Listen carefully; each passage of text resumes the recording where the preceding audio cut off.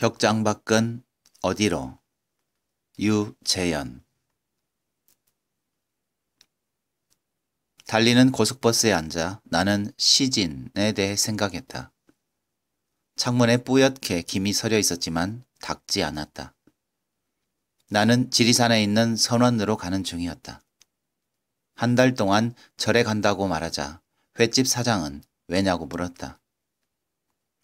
비구니가 될까 고민해 보렵니다. 라고 둘러대자 사장은 묘한 표정을 지었다. 나는 종교가 없었다. 선원에 가는 것은 어릴 적부터 친구였던 민희가 오라고 했기 때문이다. 민희는 췌장암 말기이고 선원에서 1년 넘게 요양 중이다. 나는 민희의 얼굴이 보고 싶었고 시진과의 추억이 많은 포항이 지긋지긋하기도 했다. 시진과 만난 3년은 건조했다. 우리는 크리스마스나 새해에 케이크 하나 사지 않았고 커플링도 맞추지 않았다. 시진과 나는 함께 살았지만 밥을 먹을 때 외에는 각자의 방에 머물렀다. 시진은 우리 관계를 이렇게 표현했다. 서로 각자의 구덩이에 있다가 가끔 밖으로 나와서 만나는 거야. 그리고 여기 이 사람이 있구나 하고 힘을 얻고 다시 자기 구덩이로 들어가는 거지. 난 그런 관계가 이상적이라고 봐. 시진은 고교생을 대상으로 하는 학원의 국어 강사였고 나는 횟집에서 홀서빙을 했다. 시진은 고등학생을 지긋지긋하게 여기면서도 냉정하지만 속으로는 학생을 아끼는 유능한 선생님이란 이미지를 만들 줄 알았고 나 역시 팁을 얻어내기 위해 손님들에게 호의를 가장할 줄 알았다. 시진은 생계를 위해 하는 일은 우리의 본질과는 아무 관계가 없다고 여겼다. 우리의 핵은 구덩이 안 가장 깊숙한 곳에 있어. 일은 구덩이 속으로 들어가기 위해 어쩔 수 없이 하는 거지. 각자의 방에서 시진과 나는 글을 썼다. 우리는 인터넷 소설 교실에서 만났다. 코로나가 한창이어서 줌으로 듣는 수업이었다.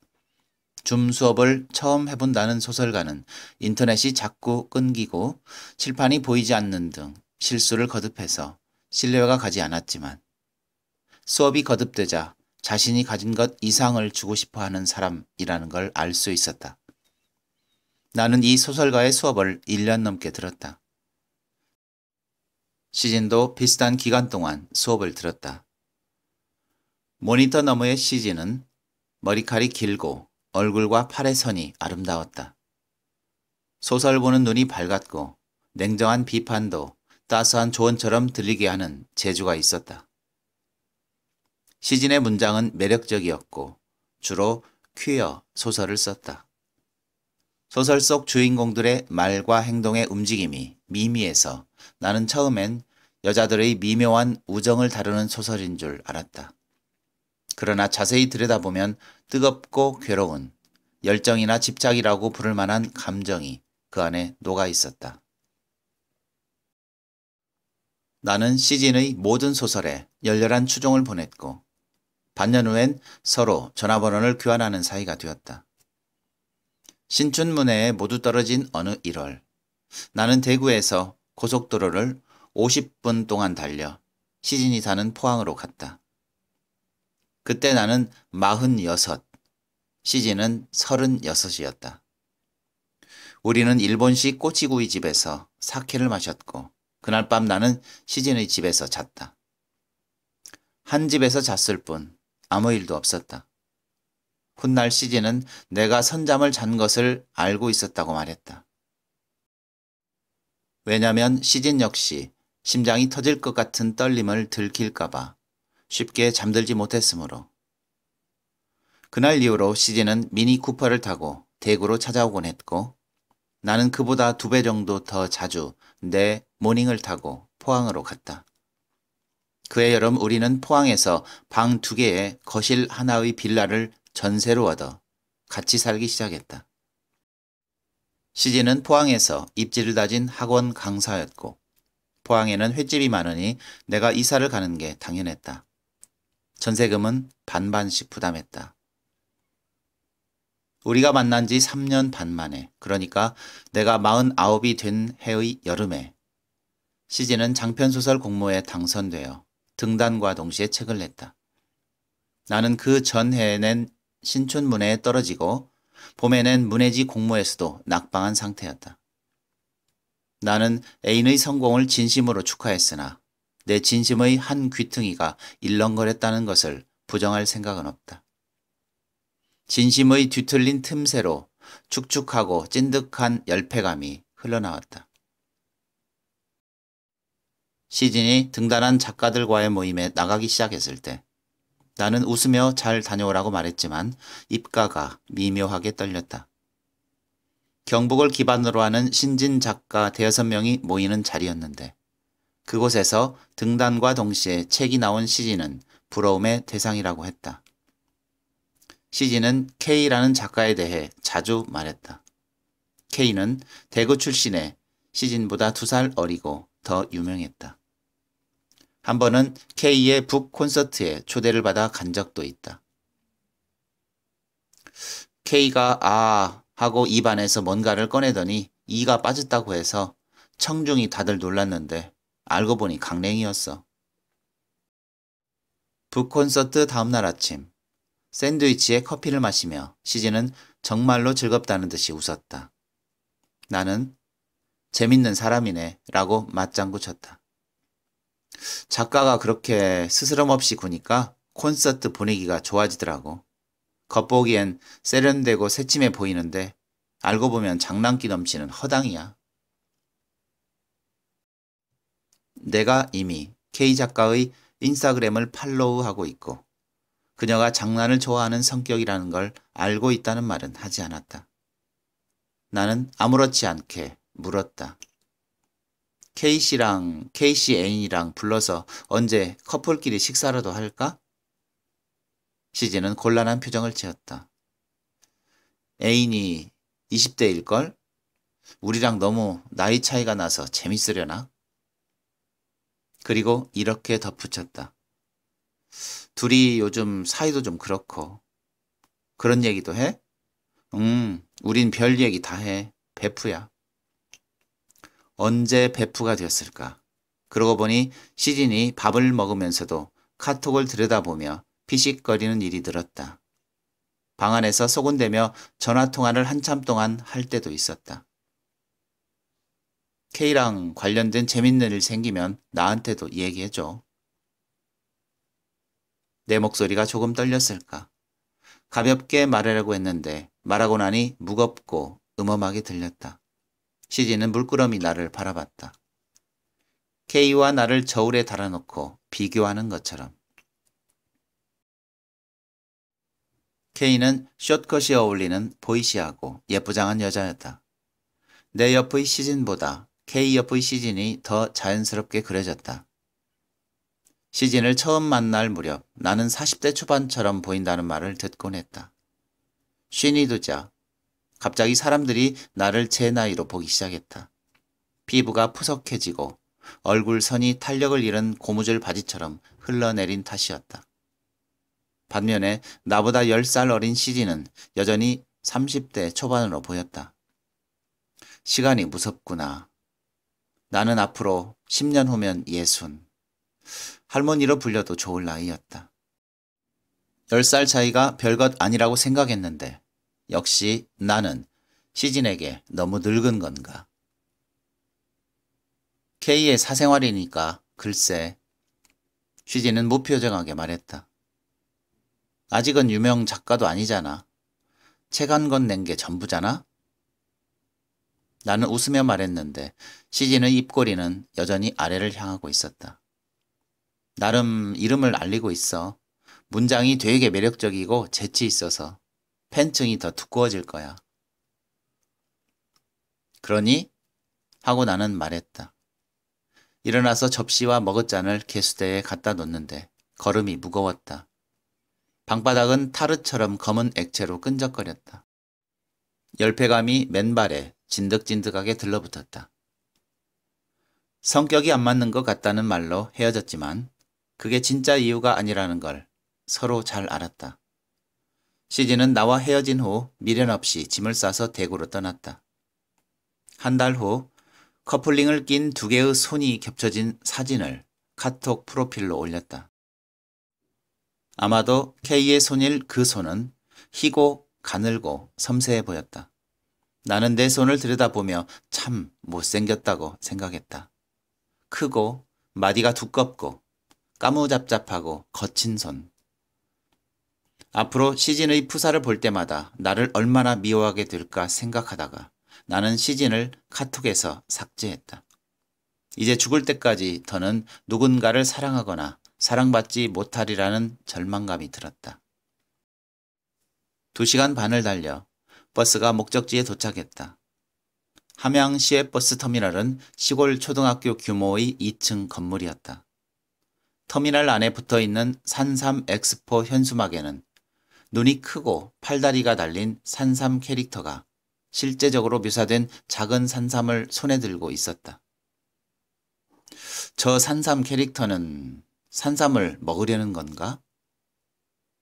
대합실 의자에 앉아 멍하니 딴 데를 바라보고 있던 미니에게 나는 인사 대신 농담을 건넸다.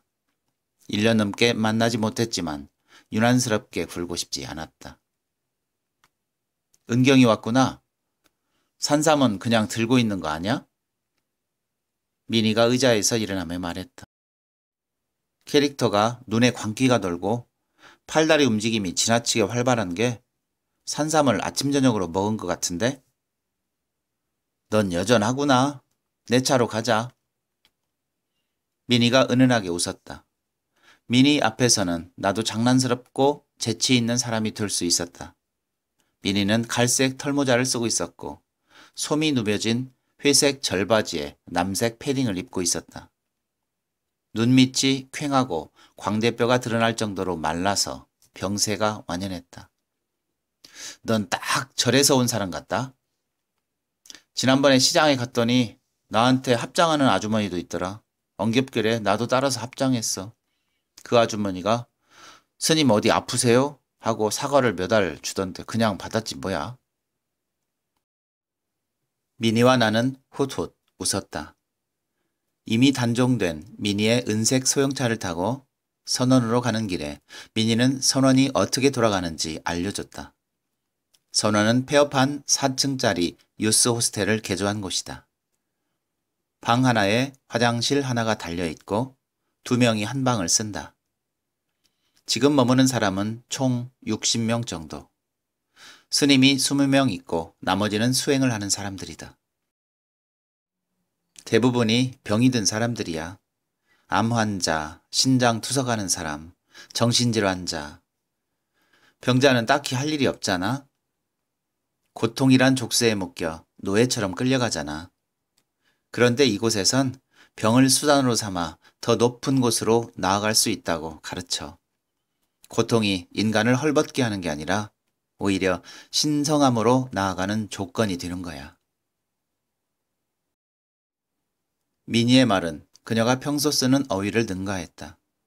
누군가에게, 아마도 미니가 깊게 신뢰하는 사람에게 들은 말 같았다. 그럴싸했지만 와닿지는 않았다. 그게 가능할까? 아프면 시야가 좁아지지 않니? 자기 몸에만 관심을 갖고. 미니는 목소리를 낮추고 말을 이었다. 가능해. 이곳엔 원장 스님이 있어. 훌륭한 스님이셔? 만나면 알게 될 거야. 티베스 스님인데 사람 마음을 꿰뚫어 보는 사람이야. 원장 스님을 만난 것은 선원 앞이다. 그는 빗자루를 들고 낙엽을 쓸고 있었다. 풍채가 컸고 머리카락을 어깨까지 길렀다. 그는 외국인 티가 나는 발음으로 안녕하세요. 새로운 사람? 반갑습니다. 하고 차에서 내린 나에게 말을 걸었다.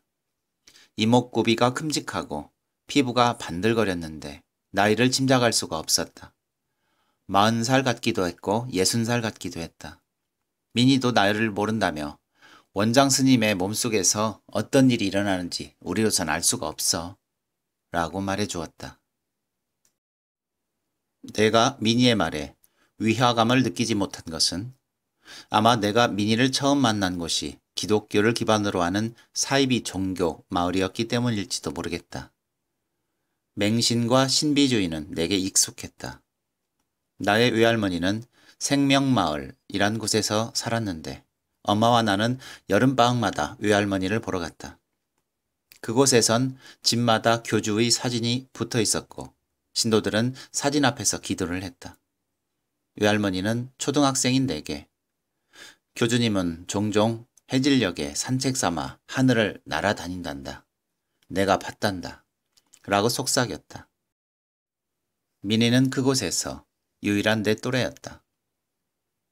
기억나? 어두운 벽장 속에 둘이 들어가 있곤 했잖아. 선원에서 보내는 첫 밤, 불을 끈 방에 나란히 누워 내가 왜 벽장 얘기를 꺼냈을까?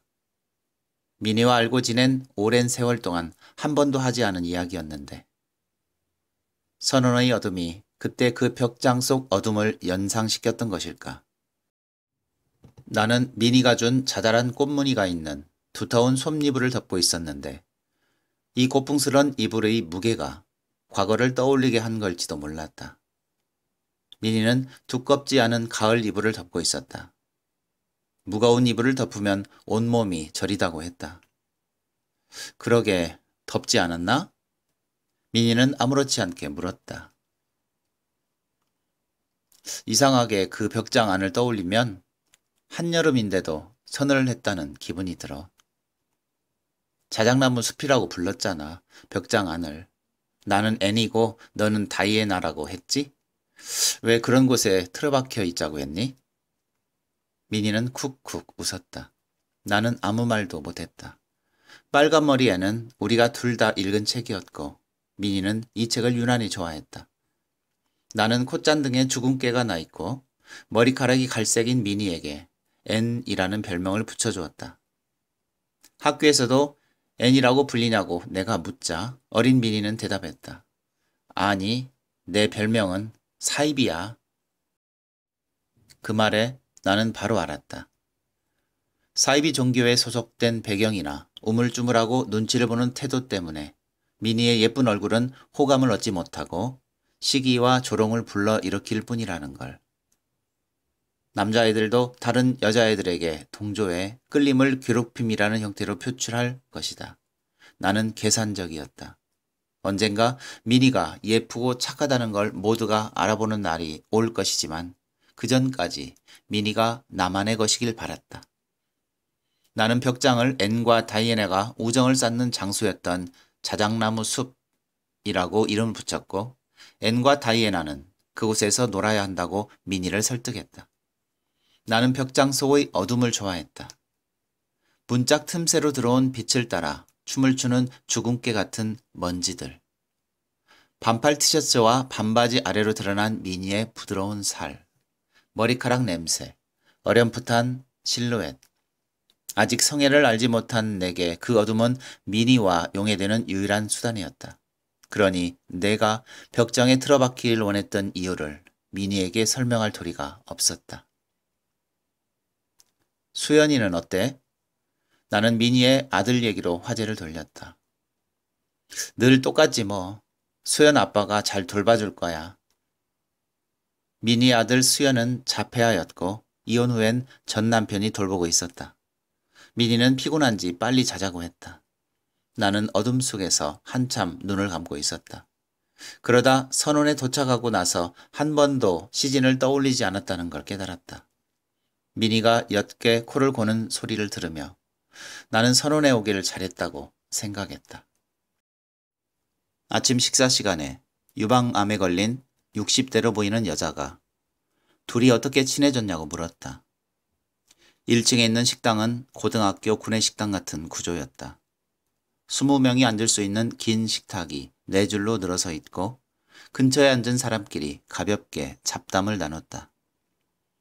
은경이가 서울에서 온 세련된 아이라서 동경의 대상이었어요.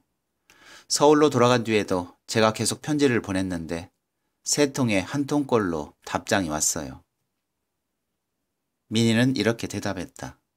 나는 미니가 보낸 편지를 읽고 또 읽었지만 답장을 썼다가 찢어버리곤 했다. 서울이라지만 변두리에 살았고 집도 가난했어요. 나는 웃으며 말했다. 어린 시절 나는 미니가 나를 보는 방식이 마음에 들었다. 동네 사람들에게 우리 집은 짜증과 동정이 대상이었다. 아버지가 밤새 고함을 지르거나 뭔가를 부수면 동네 사람 중 누군가 신고를 해서 경찰서에서 찾아오기도 했다. 그러나 미니에게 나는 상냥하고 우아한 다이애나였다. 음식은 입에 맞아요? 유방암에 걸린 여자 옆에 앉은 신장 투석을 하는 남자가 물었다. 그들의 병은 나중에 미니에게 들어서 알았다. 이곳에선 병이 그 사람을 대표했다. 나는 예의상 맛있다고 대답했다. 선원의 음식은 소금을 넣지 않아서 밍밍했다. 삶은 대추, 삶은 당근, 삶은 마, 물로 볶은 계란. 이곳에선 모든 걸 따뜻하게 먹는데 과일도 예외가 아니었다. 메뉴 중에는 끓여서 죽처럼 만든 딸기가 있었는데 그게 가장 맛있었다. 식사가 끝날 즈음에는 다른 테이블에서 어떤 여자가 갑자기 울음을 터뜨렸다. 공황장애가 있어서 저래. 옆에서 미니가 속삭였다. 아침 식사 후 7시부터 8시 30분까지는 수행실에서 원장 스님의 말씀을 들었다. 다른 사람들에게 친절하라는 내용인 것 같았다. 원장 스님은 한국에 온 지 20년 가까이 되었다는데도 한국어 발음이 나빴다. 방으로 돌아가 내가 법문을 알아듣지 못하겠다고 불평하자 미니가 말했다. 나도 절반만 알아들어. 그런데 원장 스님이 굉장히 고급 어휘도 아시거든. 일부러 우리가 알듯 말듯 발음을 어눌하게 하시는 것 같아. 대중이 못 알아듣는 절반 정도의 말은 우리의 무의식을 향하는 주문, 만트라인 거야. 원장 스님에 대해 말하는 미니의 눈빛은 어딘가 먼 곳을 보는 듯 했고 뺨은 붉었다. 문학을 향한 나의 눈빛도 타인들에게는 이렇게 아름답고 터무니없이 보이는 걸까? 어쩌면 내가 계속 소설을 써온 것은 그 안에 살고 싶었기 때문일지도 모른다. 하얀 눈이의 오솔길 같은 문장을 뽀득뽀득 밟으며 내가 만든 먼 세계로 걸어 들어가고 싶었는지도 모른다. 나는 시진이 그 안에 살고 싶어 할 만한 소설을 쓰고 싶었다. 그게 시진과의 관계를 영속시키는 방법이라 믿었다. K의 소설집을 펼칠 때 나는 마치 아내의 불륜 현장을 덮치려는 남자처럼 괴로운 심정이었다. K가 구축한 세계는 유쾌하고 우아하면서도 어딘가 냉기가 돌았다. 시진이 왜 K에게 빠져들었는지 알 것 같았다. 나는 시진과 헤어진 후로 소설을 쓰지 않았다. 왜 소설을 써야 하는지를 잊어버렸다. 선원의 일과는 정해져 있었다. 식사 시간은 아침 6시, 정오 저녁 6시다. 아침 식사 후엔 원장 스님의 법문을 듣고 그 후로는 호흡 명상, 기체조, 만트라 외우기 등을 하루 종일 반복했다. 수행은 강제가 아니라서 방에서 쉬거나 밖에서 산책을 해도 되었다.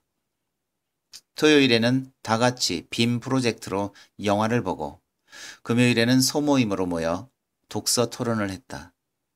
원장 스님이 추천한 책들은 대학 신입생 수준의 교양서로 심리학, 우주, 역사 등 다양한 주제를 포괄했다. 나는 원장 스님이 책을 고르는 안목이 높은 것에 감탄했다. 민희는 자기가 대학도 못 갔는데 여기가 대학교 같다고 좋다고 했다. 민희는 자기가 대학도 못 갔는데 여기가 대학교 같아서 좋다고 했다. 내가 따를 수 없는 규칙도 있었다. 예를 들어 아침 첫 오줌을 마시는 일이 그랬다. 세면대에 놓인 컵에 내가 칫솔을 넣으니까 민희는 그거 오줌 담는 컵이야 라고 알려줬다. 뭐? 아침마다 마시거든. 요로법은 암 환자에게 필수야. 나는 요로법이라는 걸 그렇게 알게 되었다. 미니와 대화를 하다가 뭐라고 대꾸해야 할지 모르겠는 순간은 자주 찾아왔다. 예를 들어 미니의 이런 말들. 원장 스님은 에너지 폭발체야. 그 몸 안은 일반인이 이해할 수 없는 우주야. 원장 스님이 있는 곳에선 일상이 고도의 상징을 띠는 만다라의 세계로 변해. 예를 들어 원장 스님이 물 한 잔을 마시면 그건 번뇌하는 인간을 위해 생명수를 마신다는 뜻이야. 나는 원장 스님이 대변을 보는 것도 고도의 상징이냐고 물었다. 나로서는 먹고 마시고 배설하는 나와 똑같은 신체적 메커니즘을 가진 인간이 부처에 가까운 존재가 된다는 게 믿기지 않기 때문이다. 미리는 내 질문에서 조롱을 잃지 않고 담담하게 대답했다. 응, 그건 이 세계의 모든 것이 다시 흙으로 돌아간다는 상징이야. 나는 미니의 말을 대놓고 반박하진 않았다. 췌장암은 치사율이 높았다. 나올 수 있는 가능성이 얼마나 되냐고 묻자 미니는 이렇게 말했다. 퍼센트는 중요하지 않아. 세상에는 말도 안 되는 일들이 일어나니까. 일반인들은 그런 일을 기적이라고 불러. 그 말은 미니가 살 확률이 기적에 가깝다는 소리로 들렸다. 나는 분했다. 쉔살은 죽음을 생각하기엔 지나치게 젊었다. 먼저 늙음을 겪어야 했다. 늙음은 날카로운 회칼로 아주 얇게 점여진 죽음이어서 우리는 늙음을 한 점 한 점 음미하는 법부터 배워야 하는 거 아닌가. 횟집 일이 많이 힘들었니? 미니는 내 걱정을 했다. 미니와 나는 밤마다 많은 얘기를 나눴다. 우리의 대화는 불을 끄고 나서 내밀한 어둠 속에서 이루어졌다. 미니의 말에는 허영기가 없었다. 허영은 너무나 삶을 향하고 있는데 미니는 그 반대 방향으로 보고 있었으니까. 나 역시 미니에게 많은 것을 솔직하게 말했다. 즐겁진 않았어. 종업원들 셋이 자기들끼리 싸웠는데 어느 틈에 내가 배관시 되더라. 나중에 날 보고 인사도 하지 않았어. 뭐 서빙 일이야 다시 구하면 그만이니까. 미니는 원장 스님이 한 말을 들려줬다. 사람은 피부를 경계로 밖과 구분되고 자신의 본질은 내부에 있다고 생각하는데 그게 틀린 생각이래. 사람의 본질은 사람 바깥에 있어서 누굴 만나고 어떻게 관계에 맺느냐가 전부래. 그래서 다른 사람을 사랑으로 대하면 사랑이 본질이 되고 자주 사람을 미워하면 미움이 본질이 된대.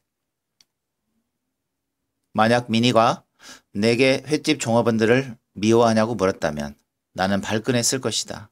그러나 미니는 그렇게 묻지 않고 어둠 속에서 내 손을 잡았다. 미니의 손가락은 너무 차갑고 가느다래서 나는 사람이 살이 빠지면 손도 작아지는구나. 그런 생각을 했다. 어느 밤에 나는 시진의 등단에 대해 아무리 나이를 먹어도 익숙해지지 않는 시련에 대해 내가 죽을 때까지 작가가 되지 못하는 게 아닌가 하는 불안에 대해 말했다. 내가 작가가 되고 싶은 마음 중에는 횟집의 다른 종업원들보다 나은 사람이 되고 싶은 마음도 있는 게 아닐까? 미니는 모두 괜찮다고 말해줬다. 누군가에게 나의 가장 깊은 곳에 고여있는 어둠을 말할 수 있다는 것. 그 사람이 나의 말을 판단하지 않고 오로지 빛을 비추어 줄 뿐이라는 것은 작은 구원이었다. 보일러비를 아끼느라 선원의 공기는 싸늘했지만 나중에 이 순간을 떠올리면 미니와 나를 잇는 어둠이 푹신푹신하고 따뜻했다고 기억하리라. 나는 혼자만의 구덩이를 너무 깊 깊게 파고 들어간 것 같다. 다시 밖으로 나올 수 있을까? 나는 구덩이에 대해서도 말했다. 다른 사람의 구덩이와 연결될 수는 없어? 미니가 물었다. 음. 왜? 수직으로만 파고드는 구덩이거든. 더 내려가면 아주 큰 동굴과 이어질 거야. 미니가 말했다. 거기서 사람들이 잔치를 열고 있을 거야. 전도 붙이고 막걸리도 마시고. 동굴 한가운데선 모닥불이 활활 타오르고 춤을 추는 사람이랑 악기를 연주하는 사람도 있을 거야. 나는 그 이미지가 마음에 들었다. 우리가 죽음을 두려워하는 것은 영원한 고립이 두려워서인데 망자들이 무덤 깊숙한 곳에 모여 잔치를 벌린다면 얼마나 좋을까. 나는 그날 푹 잘 수 있었다. 달이 유난히 밝은 밤, 미니가 자신이 살아온 얘기를 들려준 적이 있다. 그 중엔 내가 아는 얘기도 있었지만 모르는 얘기도 있었다. 우리는 어릴 때 친구였지만 어른이 되고선 연락이 끊겼다. 다시 만난 건 내가 서른여덟일 때 돌아가신 데 외할머니의 장례식장에서였다. 누군가의 어린 시절을 안다는 것은 그 사람을 잘 안다는 착각을 심어주기 때문에 미니와 나는 금방 다시 친해졌다. 미니는 고교 시절 성적이 매우 좋았지만 대학에 갈 형편이 못 되어서 생명마을에서 운영하는 공장에 취직했다. 그 공장에서 기계에 몸을 끼어 청년이 사망한 사건이 한때 뉴스에서 떠들썩했는데 그 청년은 미니의 애인이었다. 미니는 공장을 그만두고 교단을 떠났다. 처음 사귄 남자여서 충격이 컸다고 미니가 말했다. 그렇게 죽은 건 참 가엽지만 사실은 좋아하지 않았어. 공장에 젊은 남자가 몇 명 없었거든. 젊다고 해도 나보다 8살이나 많았지만 내가 고아였잖아. 새엄마는 워낙 엄했고 그냥 누구라도 괜찮았던 것 같아. 날 좋아하는 사람이면. 넌 예뻐서 인기가 많았을 텐데. 교단을 나가서 또 공장에서 일했는데 공장장이 나보다 15살 많고 부인이 병에 걸려 죽은 남자였어. 그 사람이 나와 결혼하고 싶다고 했어. 내가 거절할 이유가 없지. 부자인데다 아이도 없지. 참 편하잖아. 그런데 시어머니랑 안 좋았어. 가방끈이 짧고 이상한 종교 집단에서 자랐다고 날 무시했어. 그리고 남편과의 섹스도 참 힘들었고. 섹스? 내가 물었다. 남편과 만난 경위나 시어머니와의 불안은 언뜻 알고 있었지만 남편과의 선관계를 참기 힘들었다는 말은 처음 들었다. 어, 하면 안 되는 일을 하는 것 같았어. 마치 개나 소 같은 짐승이라 하는 것처럼. 그래서 그걸 하는 중엔 딴 생각을 하려고 했는데 잘 안 되더라. 미니는 계속 말했다. 어쩌면 수연이가 그걸 안 게 아닐까? 자신이 만들어질 때 내가 그렇게 수치심에 떨었다는 걸. 그래서 세상을 향해 고집스럽게 눈을 돌리는 게 아닐까? 그렇지 않아, 미니야. 은경아, 나는 세상이 너무 추웠다. 그래서 조금만 따뜻한 공기가 느껴지면 그 한 줄기 따스함에 목숨을 걸고 매달렸다. 삶이 나한테는 생존의 문제였는데 어떤 사람에게는 산책 같은 거겠지? 세상이 따뜻하고 훈훈한 봄날인 사람이라면 여기저기 천천히 걷다가 고르고 골라 자신의 보금자리를 정했겠지. 나는 그럴 여유가 없었어. 얼어 죽을까봐 무서웠으니까. 그런데 요즘은 내가 너무 성급했던 걸까? 중요한 결정을 아무것도 모르는 시기에 내렸던 게 아닐까 하는 생각이 든다. 바람이 불어서 창문이 덜거덩거렸다. 나는 이불 속으로 미니의 차가운 손을 잡았다. 바람이 그치자 멀리서 개 짖는 소리가 들렸다. 다 준비되고 아이를 갖는 사람이 어딨니? 지금 생각하면 20대, 30대가 참 어린데 그 나이에 어떻게 부모가 되나 싶어. 50이 되니까 아이가 있으면 좋겠다는 생각이 이제야 드는데. 아이가 갖고 싶니? 미니는 졸린 목소리로 물었다. 그냥 있으면 어땠을까 생각해 보는 거야. 나이를 먹어서 그런가? 서른, 마흔이 되었을 때도 내가 벌써 이 나이인가 하고 씁쓸했는데 쉬는 또 다르네. 한밤중에 자다가 깼을 때처럼 퍼뜩 놀라. 내가 벌써 쉰이구나. 젊은 날이 다시는 돌아오지 않겠구나. 그러니까 살아있는 것들이 좋아지네. 아이는 생명 자체잖아. 아니, 빛이 동굴 속을 환하게. 미니는 알 수 없는 말을 중얼거리고는 잠들었다. 나는 어둠 속의 한 점을 오래 바라보았다. 어디에도 빛은 없었다. 깊은 우울감이 나를 덮쳤다. 만약 아이가 있었으면 작가가 되지 못한 것이 덜 불행했을까? 연인이 있었다면 남은 나날들이 덜 두려웠을까? 망망대해를 헤엄치는 것처럼 살았다. 정신을 차리고 보니 주변에 떠다니는 건 펼쳐진 책들과 원고의 낱장들 뿐. 주변 풍경은 변한 게 없는데 나는 이렇게 나이 들어 버렸다는 남은 미래는 죽음뿐이라는 섬뜩한 깨달음. 내가 떠나기 일주일 전 민희는 오리 백숙을 사주겠다고 했다. 원장 스님이 유일하게 허락한 외식이 오리 백숙이라고. 선원에서 걸어서 5분이면 조미료를 쓰지 않고 반찬이 정갈한 오리집이 있다고 했다. 비구니 스님 셋도 함께 갔다. 우리 집은 1층짜리 평범한 단독주택을 식당으로 사용하는 곳이었고 밖에는 누런 진돗개가 묶여 있었는데 짖지도 않았다. 그놈 오리고기를 많이 먹어서인지 털이 반들반들하네 라고 한 스님이 말했다. 주인 여자는 얼굴빛이 어둡고 통통한 60대 중반 정도의 여자였는데 친구로 보이는 여자 한 명과 함께 손님용 테이블에서 소주를 마시고 있었다. 테이블은 다섯 개였고 다른 손님은 아무도 없었다. 선원에 있는 동안 간이 안 된 음식만 먹어서인지 황귀와 당귀 같은 한약대를 듬뿍 넣은 오리 백숙이 유난히 맛있게 느껴졌다. 오리의 살을 다 먹고 남은 국물에 죽을 끓여서 떠먹고 있는데 옆 테이블에 앉아 소주를 마시던 주인 여자가 제가요 좀 울어도 될까요? 하고 우리에게 말을 걸었다. 그만해 손님도 있는데 친구로 보이는 여자가 제지했는데도 그녀는 흐느끼며 말을 이었다. 3년 전 이맘때 내 아들이 떠났어요. 군대에서 스스로 목을 메고. 이쪽 테이블에서 저런 쯧쯧 같은 소리가 나왔다.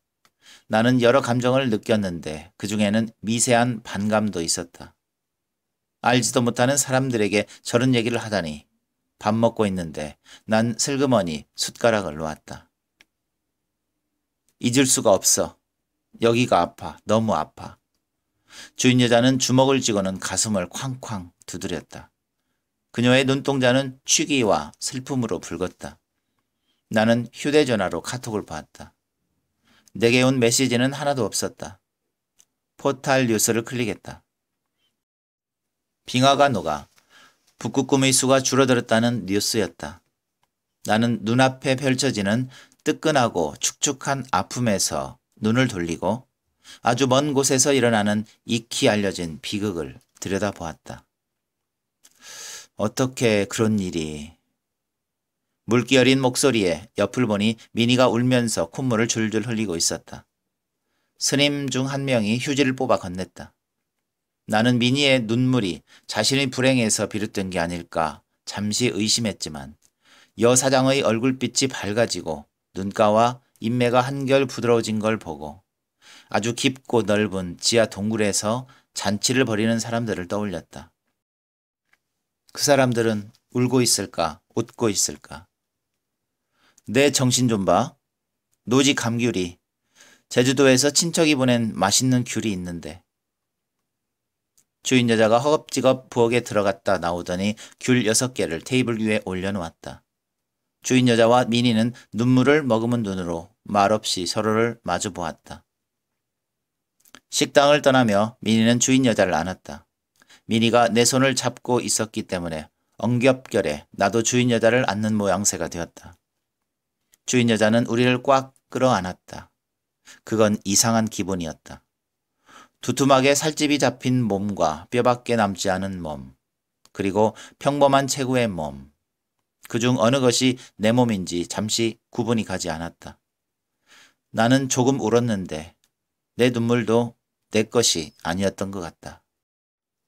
법문 시간에 나는 통유리 너머로 당산나무를 지켜보았다. 검고 거대한 당산나무는 모든 나무들이 그렇듯 자신이 아닌 밖을 향해 나뭇가지를 내밀고 있었다. 창밖으로 눈이 내렸고 마치 손바닥 위에 놓인 선물처럼 나뭇가지에 눈이 쌓였다. 그 풍경을 오래 보는 동안 내 안에도 뭔가가 두텁게 쌓이는 것 같았다. 부드럽고 연약했지만 내부의 풍경을 완전히 다르게 만들 무언가가. 아름답다. 원장 스님은 정확한 발음으로 그렇게 말했다. 그리고 내 쪽을 보며 이렇게 말했다. 인생의 실패는 있을 수 있다. 그러나 손해는 없다. 인생의 모든 일은 결국은 득이다. 실패도 득이다. 당신도 사실은 그렇게 생각하지 않는가? 나도 모르게 네 라고 대답했다. 그날 저녁 그는 폐관 수행에 들어갈 예정이었다. 미니의 말에 따르면 원장 스님은 1년에 한 번 석 달 동안 판자로 창문을 막은 어두운 방에 틀어박혀 수행을 하는데 이 기간 동안 그가 주변의 고통을 빨아들이므로 환자들의 병세가 좋아진다고 했다. 그 말을 듣고 나는 물었다. 그러면 원장 스님은 다른 사람들의 고통이 스님 안에 쌓이면 어떡하는데? 스님의 마음 깊은 곳에는 불꽃이 있어 고통을 태워서 더 큰 빛을 만들어. 항암 치료는 안 받을 거니? 나는 내 말이 염려나 의심으로 들리지 않게 조심스럽게 물었다. 의사는 낮은 확률이라도 항암 치료를 해보자고 설득했지만 민희는 치료를 거부했다. 민희는 볼살이 말라서 기이하게 커 보이는 눈으로 날 쳐다보며 딴소리를 했다. 은경이 넌 늘 용감했어. 자기 마음을 따라 살았잖아. 그리고 멋있고 부러웠어. 계속 그렇게 살아.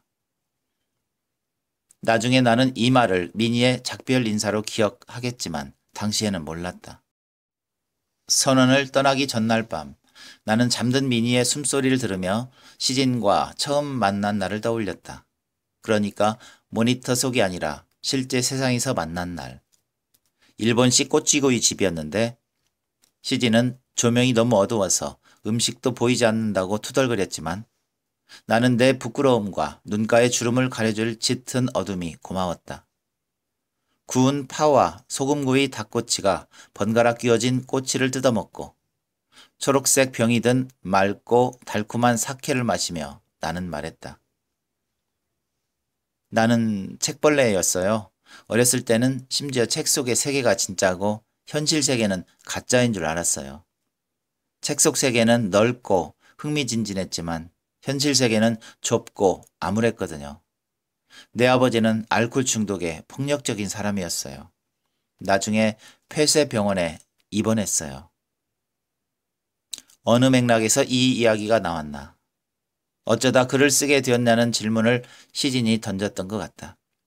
나는 좀 더 흥미로운 사람으로 글쓰기가 운명인 사람으로 보이고 싶었다. 그리고 물기 어리지 않은 건조한 목소리로 불행을 말할 수 있는 성숙한 사람으로도 가짜 세계에서 어떻게 살았냐고 시진이 물었다. 집에선 방에 틀어박혀 책만 읽고 학교 수업 시간엔 잠만 잤어요. 밤새 아빠가 소리를 질러대서 잠을 못 자기도 했고 로빈슨 크루소라는 책을 학교에 갖고 다녔어요. 쉬는 시간에는 책을 펼치고 내가 무인도에 있다고 상상했어요. 32페이지에 로빈슨 크루소가 개와 해변에 앉아 지는 해를 바라보는 장면이 있었거든요. 그게 내가 생각하는 천국과 가장 흡사했어요. 사람이 없고 개 한 마리뿐인 섬이 말이죠. 이날 시진은 검은 코트 밑으로 갈색 가죽 치마와 검은 터틀넥 스웨터를 입고 있었다. 시진의 긴 목을 완전히 가리면서도 몸의 실루엣을 그대로 드러내는 웃옷을 나는 힐끗거리지 않으려고 노력했다. 시진은 내 쪽으로 몸을 숙이고 사케를 잔뜩 마셔서 느슨해진 목소리로 물었다. 언제 깨달았어요? 책 속 세계가 가짜고 바깥 세계가 진짜라는 걸? 얘기가 길어져도 괜찮아요? 나는 뒤무었고 시진은 고개를 끄덕였다. 그때 우리는 카드 놀이를 하듯 각자의 가장 내밀한 상처와 깊숙한 이야기들을 보여주고 상대의 패를 읽는 중이었다. 시진이 내게 먼저 고등학교 1학년 말에 단짝 친구가 교통사고로 죽은 얘기를 했다. 그 후로 시진은 고교 시절 동안 친구를 만들지 않았다고. 그래서 쉬는 시간이나 점심시간에 남는 시간을 때우기 위해 소설을 읽기 시작했다고 말했다. 그 친구를 정말 아꼈나 봐요. 라고 내가 말하자 시진은 꼭 그런 건 아니었다고 대답했다. 그냥 그 애가 죽었다고 다른 아이로 대체하는 게 불길하게 느껴졌어요. 라고 시진은 말했다. 그 말에서 시진의 고결함에 가까운 결벽증이 느껴졌고 나는 좀 더 시진에게 반했다.